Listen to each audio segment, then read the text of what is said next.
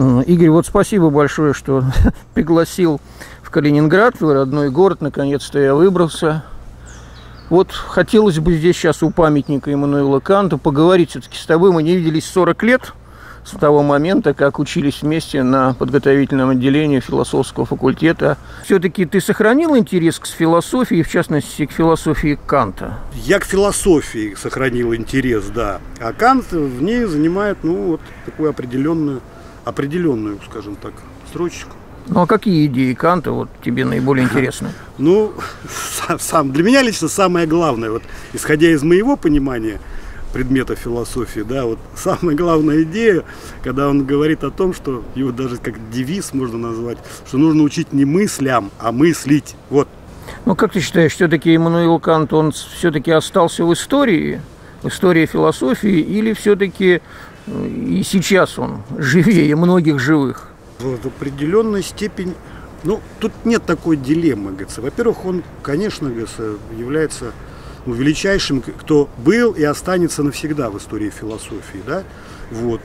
Но э, если брать, вот, например, каких-нибудь современных философов, да, то есть Кант во многом современнее тех, кто говорит сейчас, говорится, то есть гораздо глубже там по какому-то данному вопросу.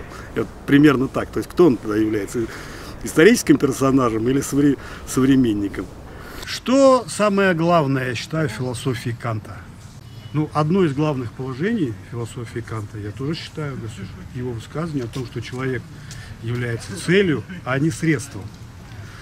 Но вот такая печальная вещь, говорится, да, вот лично, кажется, в моей, в моем понимании философии в целом, да, вот, ну, как ни странно, говорится, то есть личности ну, я не только Канте говорю, например, и Гегель тоже, да, то есть они являются всего лишь моментами э, в развитии философии в целом, и вот тут, как ни странно, говорится, там, да, то есть они для философии являются средствами выражения.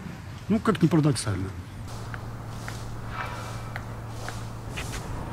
Вы здесь, наверное, каждый день проходите мимо памятника? Нет, Нет? два раза в неделю. Скажите, пожалуйста, вот, вот когда вы проходите мимо памятника великому человеку, великому философу, у вас не возникают какие-то мысли, чувства?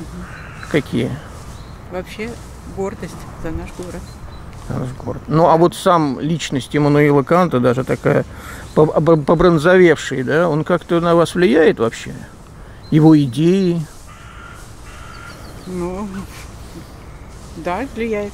А какая вот идея, скажем, вам наиболее близка, наиболее интересна? Канта. Можете воспроизвести, так на память что-то приходит? На память ничего не скажу. Нет, я думаю, не стоит. А? Никак, мы делаем фильм, фильм об Эммануиле Канте. Можно задать вопрос? Все-таки вот вы работаете, да? Уже, видимо, на пенсии? Нет. Еще не на пенсии. Нет. А как вот вы каждый день здесь у, у, у Эммануила Канта как-то проникает, влияет на что-то хотя бы? Да, влияет. Ну и как влияет? Ну как, духовно каждый день, так сказать, обогащаюсь буквально от, от этого самого, от той ауры, которая вот этот вот памятник. Ну а какая идея вот Канта вам наиболее близка, интересна? Никакой. Почему? Я не знаю никаких идей Канта. А как же он на вас влияет? Чисто так. Вот мы находимся сейчас рядом с памятником Эммануилу Канту. Как-то на вас производит впечатление вообще личность этого человека? Очень. А что именно? Во всех отношениях, каков он был. Честный. Прожил всю жизнь э, по-честному. Такой обязательный, умный. Mm. Очень для меня. Вы были на острове Канта? Конечно, обязательно. Ну, а вот какие идеи вам наиболее его интересны, созвучные? Что помните? Я вот не помню высказывания у него. Ну, ну по-честному, вот сейчас не помню. Uh-huh.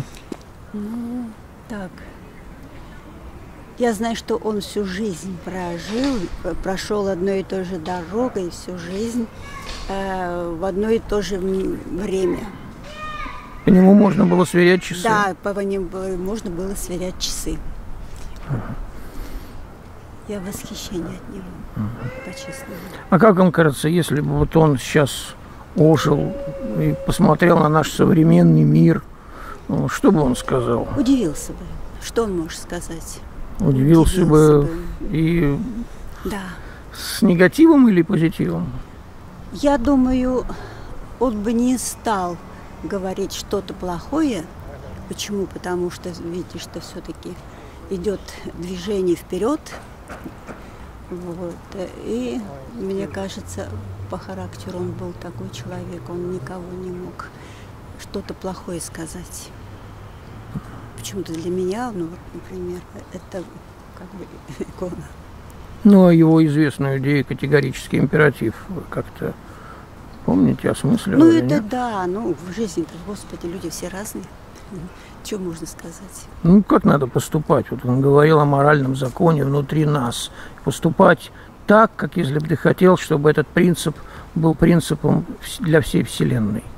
Это не мешало бы, но, увы, все люди разные и все по-разному относятся. Но у вас есть какой-то такой принцип? Свой моральный закон? Моральный – не делать людям зла, во-первых, по-честному жить. Так, во-вторых, стараться помочь ближнему. Это тоже, это как доктор я. Так что для меня и он мне считается вот как пример.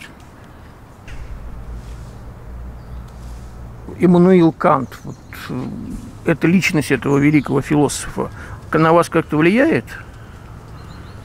Ну, в плане только, что если звездное небо над головой и нравственный закон внутри меня, Когда вы смотрите на звездное небо, что вы видите там? Ну вот чтобы разобраться, я, наверное, для этого и приехал первый раз в. А моральный закон, о котором говорил Кант, вот у вас есть какой-то внутренний моральный закон? Моральное правило, которым руководствуетесь? Всегда нужно поступать правильно, Ну, Правильно это как? по совести. По совести. Ну вот, а что такое совесть? Некоторые говорят, что это голос Бога в человеческом сердце.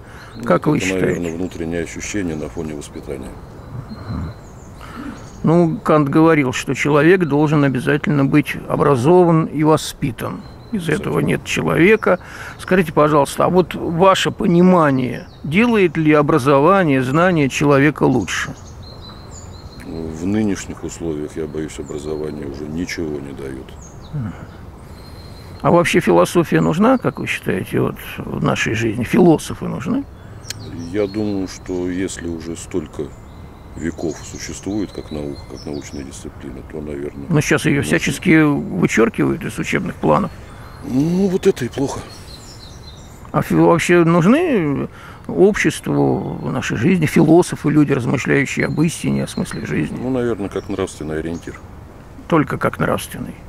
Ну, хотя бы так. А вот вы-то сами размышляете вообще о смысле жизни, о том, что есть истина? Наверное, нет. Не могу себе. И даже не задумывались, много. что такое смысл жизни для вас? Смысл жизни это оставаться честным перед собой, перед людьми и вложить все это дело в своих детей. Вот в этом, наверное, есть основной смысл жизни.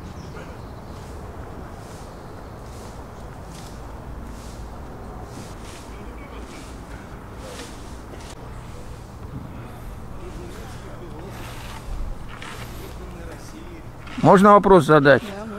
Вот э, здесь находится памятник об- университета имени Канта, находится памятник Иммануилу Канту. Вы знаете, да, кто это? Да, знаю. Ну вот у вас э, есть какая-то наиболее идея, которая вам близка, идея Канта? Ну, относиться к другим так же, как хотел бы, чтобы относились к тебе. Но это не идея Канта, Ну. это золотое правило нравственности, которое он сформулировал как категорический честно, императив. Я прям так не разделяю. Он, конечно, человек очень умный и интересный, но читать его тяжело труды, поэтому то, что запомнилось, вот самое. Вот, спасибо. Я А знаю. как вы считаете, вот категорический императив Канта, его идеи, вещь в себе там, и другие идеи, они сегодня жизнеспособны? Думаю, да. То есть люди ими руководствуются? А, нет, в этом плане, я думаю, не все, далеко не все. Ну, даже не- ну, в отношении себя не могу сказать, что я всегда так делаю, хотя стараюсь. Ну вот его интересная идея о том, что надо быть смелым, чтобы пользоваться, свой, жить своим собственным умом. Как вы считаете, это люди следуют этому? Сложно сказать, потому что сам по себе человек может быть разным. Может быть, он сам по себе не очень хороший, он будет следовать своим внутренним убеждениям. Нет, я имею в виду жить смелость, жить собственным умом, то есть не следовать чужим догмам, стереотипам, а именно вот собственным умом жить. Ну, думаю, на 70% да, нужно своим. А люди как живут в реальности? Я мало людей знаю, но тех, кого я знаю, больше оглядываются на родителей, на окружение друзей. Ну, и сейчас, знаете, как а, люди, кажется, не знают, чего хотят. Ну, есть э, что-то, что модно хотеть, что говорят родители, что нужно хотеть, и вообще вот так вот а даже сложно определиться. Ну сколько процентов людей имеют смелость жить собственным умом, по вашему мнению? Наверное, 30. Но это Треть. так очень грубо, я не знаю только навскидку. Спасибо. В Калининграде, наверное, единственный в России музей, такой полноценный музей, посвященный философу.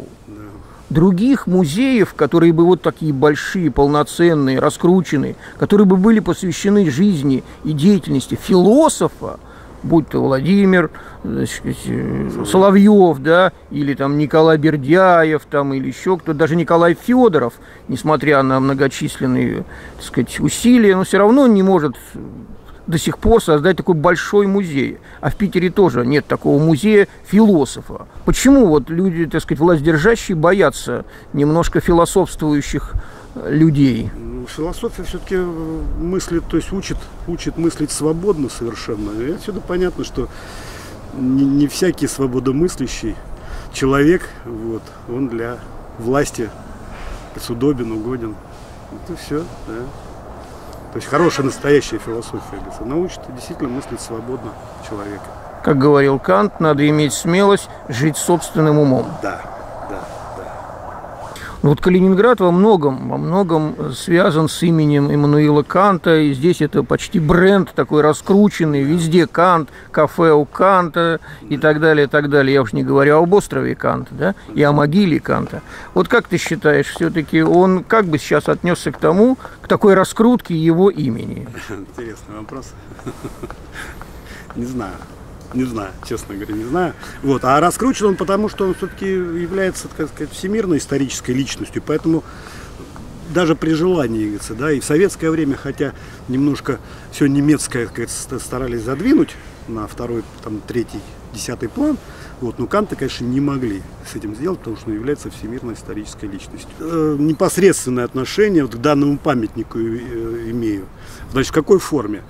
Э, когда уже началась вот реально перестройка и все так далее, да, то есть когда э, был поставлен вопрос на повестку, потому что до войны памятник был Канту. Но потом в результате этих военных действий и все прочее, он куда-то там пропал или его разрушили. Я сейчас не могу точно сказать, я это могу сказать. Но, в общем, был поставлен вопрос значит, э, о его восстановлении. Вот. А я в это время был и э, там начали собирать определенные деньги. Вот. В это время я еще был в аспирантуре. Вот. Ну, я уже поддерживал связи с философским обществом и так далее, все это дело знал. Вот. И я даже организовал сбор денег, как бы небольшой. То есть внес свою лепту Да, совершенно верно. Но ну, было смешно, говорится, это потому что студенты, говорится, были, это было очень, ну, помните, было жуткое время, там эти копейки, говорится, все это, 90-91 год, вот, но мы все равно, у меня есть чуть квитанция о том, что мы собрали 160 рублей, вот, хотя потом выяснилось, что сам памятник, на него дали, говорится, огромные деньги сами немцы, который стоил 50 тысяч То есть- этих То есть ты совершил тот самый нравственный Да, поступок, да. И меня- бескорыстный да, у поступок, меня- о котором говорил Кант. И в моем архиве хранится значит, благодарственное письмо э, от председателя э, того времени э, вот этого Российского фонда культуры, да, который занимался этим делом.